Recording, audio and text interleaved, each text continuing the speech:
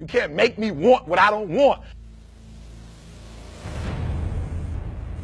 You can't dangle something in front of my face that's, I don't want that. And many of you are taking anything because you don't know what you want. And so if I can do one thing for you when you leave this room, I don't want nothing from you but for you to leave this room and know what you want. What do you want in your marriage? What do you want with your son and your daughter? What do you want in your health? What do you want financially? Like how much money do you want to make a year? What do you want to drive? How do you want to live? Stop just waking up like an accident. What do you want? And then once you find out what you want, spend the rest of your natural life waking up and going after it. The reason why I speak with so much passion, E.T., why do you speak with so, uh, so much authority? Because I'm talking about my life, not something that I read. I ate out of trash cans. I had no business eating out of trash cans. I lived in abandoned buildings. I had no business living in abandoned buildings. But E.T., your daddy wasn't in your life. Your mom was a teenage mother. You, you grew up, come on, eat, look at your circle. That's not an excuse. There is no excuse for not living up to the, your fullest potential. No excuse. I told you, I didn't get a new daddy. I didn't get a new mama. What changed? I changed. And I stopped being a victim. I stopped saying, I've got to wait for good things to happen to me. And I said, I'm going to grind. I'm going to fight. I'm going to work. I'm going to press toward. I'm going to learn. I'm going to do everything in my power every single day. I'm going to do everything in my power to become a victor and not a victim. Now, let me say this before I move forward. And I can't explain it, but you better feel me. Winners win and losers lose. I can't explain it any better than that. I don't know how it happens, but winners win. And if you create a culture of losing, if you keep being a victim, if you keep letting losing happen to you, if you keep letting people do you and treat you any kind of way, it's going to become a, culture. Let me tell y'all, I'm, I'm, not, I'm not from New Zealand, guys. Come on, listen to me very closely. I'm not from New Zealand, but I know about, uh, I, let me say it this way so I can help you. I know about what team. I'm not, I've never seen, I've never seen All Blacks play a day in my life. I've never been to the stadium. Where's the stadium? Help me out. Where's the stadium? Okay, I'm going. See what you see what I did? I've never been to the stadium. You're like, Eric, the stadium, that's Hobbit that way, Eric. That's not the stadium. The stadium is this way. I've never been there a day in my life. And if you watch some of my videos, I have all blacks in my videos. Why? Because they're what? They're winners. And when you're a winner, you don't even stay in your own little town when you're a winner, winning spreads. So everybody, I got videos where I'm like, y'all, I don't really know how to show my passion. Somebody said, get the all blacks. Ah, ah. I'm like, yep, that's what I need, all blacks.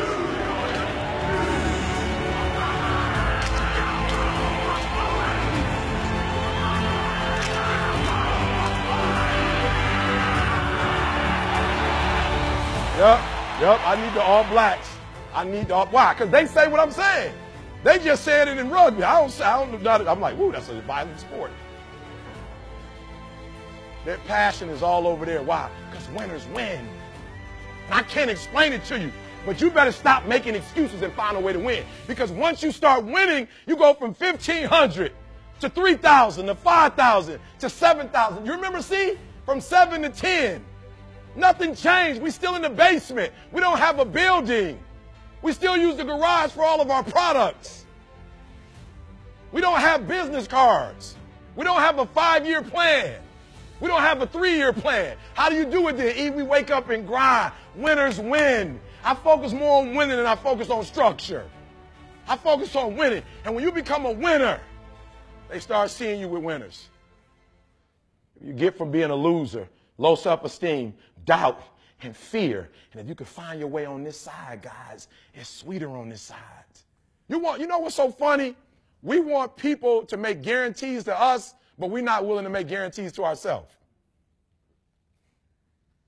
Now, for I'm gonna say it again. Like you, somebody gave you a guarantee, $30, 30 day guarantee. In 30 days, if, they, if you don't make what they told you was gonna make, in 30 days you got an attitude, you want your money back. But you've never demanded your money back from yourself.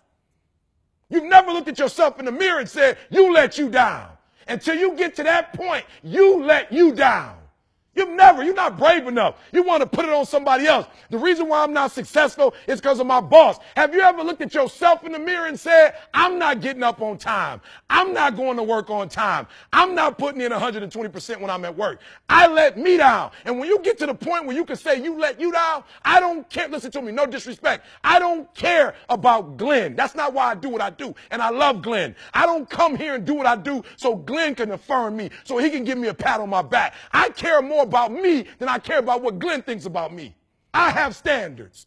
I have values. I don't care how much you pay me. If I speak at an elementary school for $300, I chose to do that for $300. If I chose to speak at a prison for free, I chose to do that. And I will not go in there giving those prisoners less than when somebody pays me 100000 Why? Because I value myself enough to give 120% or don't do it. And that's the problem with some of you. You always want to blame other people. You always want to, you want to hold other people to the fire, but you're not holding yourself to the fire. You just said you're giving 50%. You owe you an explanation. You owe you an explanation. You need to look at yourself in the mirror and say, why are you only giving 50%? What's wrong with you? You need to put yourself on punishment. You need to tell you no more TV, no more snacks, no more desserts, no more, no, we working out now. No, no more alcohol, not right now. Not, no, I can't handle it right now. You need to tell you that you owe you something. Stop going back to, you, you keep going to the mall with the receipt. This is what y'all said it was. Glenn, you didn't do what you said you was going to do. Well, you didn't do what you were supposed to do, so how am I going to do what I'm supposed to do for you? You walk out of this room, you owe yourself. I didn't get here making excuses. So what my father wasn't in my life? The truth of the matter is, he ain't never come into my life. So what, I'm going to wait for the rest of my life for my man to come? He ain't coming. I live in America. I'm an African American male. They don't treat us the same. It's something called racism. I ain't gonna cry about it. It's probably gonna be racism to the day I die, but I'm not gonna cry about it. I'm still gonna be a millionaire. I'm still gonna be one of the top motivational speakers in the world. No, I didn't grow up on that side of the town. No, my mama don't have no network. No, I don't know a whole lot of people. No, I'm not at a country club. No, I don't play golf, and I don't plan on playing no time soon but I'm still going to be successful. I'm still going to get to where they are. Why? Because I owe it to myself. And can't nobody stop me but me. And you need to get rid of them excuses. And you need to stop pointing fingers at people. And you need to start pointing fingers at yourself. What did you not do?